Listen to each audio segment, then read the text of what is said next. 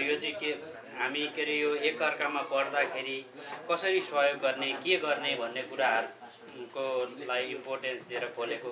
त्यसको लागि म हाम्रो चेयरम्यान उहाँ हुनुहुन्छ के अरे टिभी थापा उहाँ यसो अलिकति भनिदिनुहोस् न।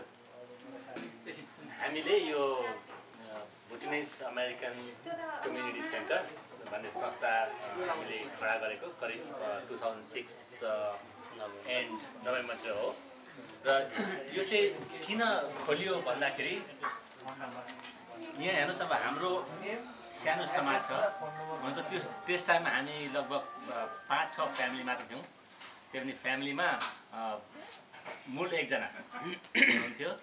र हामीले त्यो संस्थालाई खोल्नुको कारण के थियो भने हजुरको अब हामीले चाहिँ अब हाम्रो भुटानीहरू चाहिँ अमेरिका आउँदैछन् भन्ने जब हामीले ग्रिन सिग्नल युएस डिपार्टमेन्टबाट पायौँ त्यस पश्चात हामीले त्यो खोलेको हो कि होइन। अनि अब एउटा समाज भएपछि एउटा संस्था हुनु एकदमै जरुरी छ हजुर अमेरिकामा किनभने कुनै पनि काम समाजको थ्रु गर्न सकिन्छ जस्तै म आज बिबी थापा भएर कुनै पनि सरकारी अफिसमा जाउँ र कुनै पनि मेरो काम लिएर म कुनै पनि अफिसमा जाउँ मेरो काम हुँदैन। हुन्छ तर टाइम लाग्छ त्यो त्यसको अर्कै प्रोसेस हुन्छ तर हामी संस्थागत एज अ होल टिम भएर गयौँ भने हाम्रो काम तुरुन्त हुन्छ। मानिलिनुहोस् हामीले त्यहाँ पर्सनली जानु पनि पर्दैन। एक फोन हान्नुहोस् तपाईँको काम भन्छ र त्यसै कारणले यो प्लेटफर्म एउटा कम्युनिटी यो हजुर कुनै यो पार्टी होइन।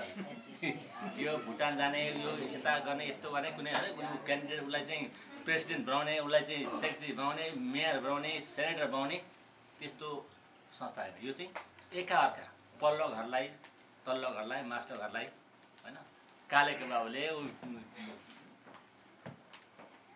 गोरेको बाबुले कसरी? हजुर। एक्ज्याक्टली एका अर्कामा कसरी सहयोग गर्ने? अब हेर्नुहोस् जब तक हामी हामीलाई कुनै किसिमको आपत्ति हुँदैन। आफ्नो काम गरिरहन्छौँ। हामीलाई पल्लो घर माथिल्लो घरको वास्तै हुँदैन। जब हामीलाई आपत्ति आउँछ त्यतिखेर चाहिँ मलाई माथिल्लो घरको याद आउँछ। तल्लो घरको याद आउँछ। छिमेकीको याद आउँछ। एउटा भनाइ छ नि हजुरको? सम्पत्तिमा सम्पत्तिमा सबैको हाई हाई विपत्तिमा कोही छैन। हामी त हेर्नुहोस् आफ्नो देश हामी देशविहीन। आज हामी अर्काको देशलाई चाहिँ हामीले हाम्रो देश भनेर आएको छौँ। भने यहाँ चाहिँ हामीले हाम्रो समाज कहाँ छ? त्यो चाहिँ हामीले हजुर फैलाउनु एकदमै जरुरी छ। हजुर यसै यसै सिलसिला सिलसिलामा चाहिँ हामीले यो बिएससी चाहिँ खडा गरेको हजुर अब यसमा चाहिँ हामीले अब एकाअर्कामा कसरी सहयोग गर्न सक्छौँ भन्ने लिएर चाहिँ हामी अगाडि बढेको छौँ। अब यसमा हेर्नुहोस् यो संस्था भनेको तपाईँ हामी त हुन्। होइन? मेरो खास नाम रामकृष्ण धिताल मेरो जन्म भुटान बोक्रेमा हो। म केएम चाहिँ सेक्टर बी टूबाट हो। पैसाहरू जाम भयो अलिकति जम्मा भए कसैलाई पर्दाखेरि सहयोग गर्ने अवस्था र गभर्मेन्टमा रिप्रेजेन्टेटिभ जाँदा अब क्यालिफोर्निया एज अ होल हामीले ओकल्यान्ड भयो सेनुजे भयो सेक्रामेन्टो भयो। अब बाई टु थाउजन्ड टेनमा हामी हल्ला सुनिरहेको छौँ कि सेक्रामेन्टोमा मात्रै टु थाउजन्ड पिपल आउँछन् भनेर।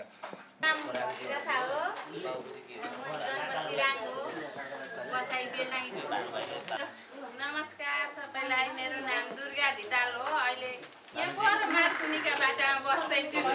उहाँ चाहिँ चिराङ डम्फु भन्ने ठाउँबाट आएको। अहि- अहिले चाहिँ टिमाईबाट पाँच महिना भयो यहाँ आइपुगेको हामी यहाँ आएको म सेप्टेम्बर ट्वेन्टी सेकेन्डमा यहाँ आइपुगेको थिएँ। आएको लगभग पन्ध्र बिस दिन भित- भित्रैमा मलाई खुसी लाग्यो। ओकल्यान्डबाट ललित गुरुङ आउनुभएको छ अरे भवानी सरलाई भेट्न भन्दाखेरि मलाई एकदम आश पलायो कि किनभने भवानी आचार्य र भानु अधिकारी दुईवटा फ्यामिली मात्रै थियो फेरोक्समा अरू कोही पनि थिएन। अनि रविन दिताल दुईजना दिदी भाइ हामी तिनवटा फ्यामिली थियौँ त्यहाँ। अनि त्यहाँबाट मैले लाइब्रेरी जान्थेँ लाइब्रेरीमा गएर वेबसाइटमा भुटनिस अर्गनाइजेसन खोजेँ। खोज्दाखेरि मैले भुटनिस अर्गनाइजेसन इन अमेरिका केही अहिले एघार बजीबाट उसको ड्युटी सुरु हुन्छ ऊ भरे राति नौ दस बजी छुट्टी हुन्छ। अब त्यति बेलामा यहाँ को जाने त? अब हामी अठार उन्नाइस घर सबै छौँ नि जानु त सबै। तर हेर्नुहोस् अहिले उसले जसले काम लगाए स्कुलले त्यहीले ल्याइदिन्छु भनेर चाहिँ आज चाहिँ। अब अस्ति एउटा यो छोराको साथीले ल्याइदियो। त्योभन्दा अगाडि पनि त्यसैले ल्याइदियो। अब त्यसैलाई खुरु खुरु बाह्र बजी राति भनिरहँदा त्यो पनि त नमान्ला। यस्ता समस्याहरू न पहिलो कुरो चाहिँ यो साधनकै यहाँ साह्रो परिरहेको देख्छु किन्न पनि त्यस्तो होइन। अब ट्रेनिङ गरेर सबैजनाको अब पर्मिट छैन अहिले। सबैजनाले गाडी सिक्ने कुरा पनि आउँदैन। सबैजना त्यहाँ जाने कुरा पनि आएन।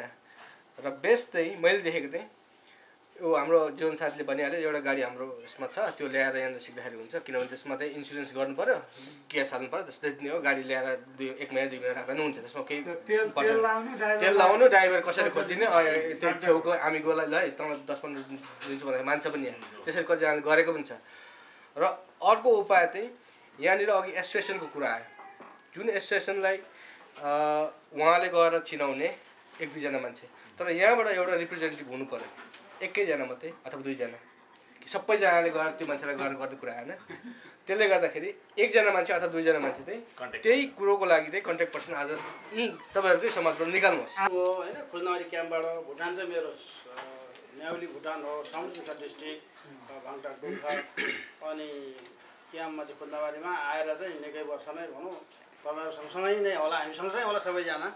हामी चाहिँ अलिकति नाइन्टी थ्रीमा मात्रै त्यहाँ आइपुग्यौँ तिन दिन मात्रै हुँदैछ अस्ति दिन। र यो तिन दिनभित्र नै यहाँ यति ठुलो समूहमा भुटानीहरूको समूहमा यति टाढोमा भेट्न पाउँदा धेरै खुसी लागेको छ र सायद हामीले यसरी नै भविष्यमा आफ्नो देश र आफ्नो भविष्यप्रति केही गर्न सकिने रहेछ भन्ने खालको एउटा सानो आशा लाग्दो कुरो देखियो। धन्यवाद। सबैलाई नमस्कार। मेरो नाम चाहिँ उमेश दर्जी हो।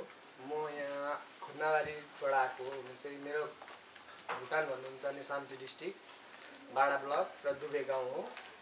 र म अहिले यहाँको तिन महिना मात्रै भएको छ। यसरी स यस्तो यो सङ्कट यस्तो बस्ने बसेको त मलाई अहिलेसम्म थाहा थिएन। होइन यो अहिले मेरो चाहिँ पहिलोचोटि हो।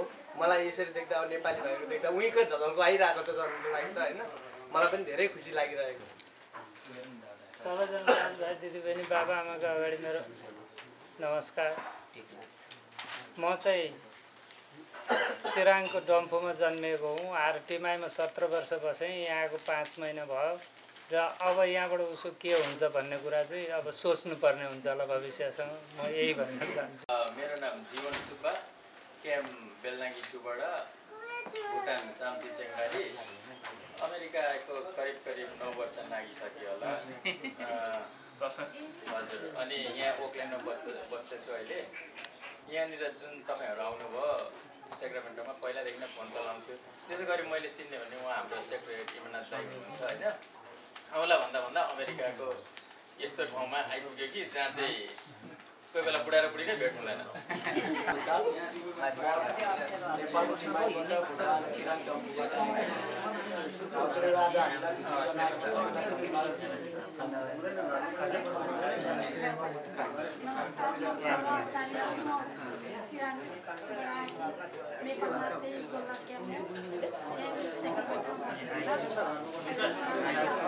अब कति भयो?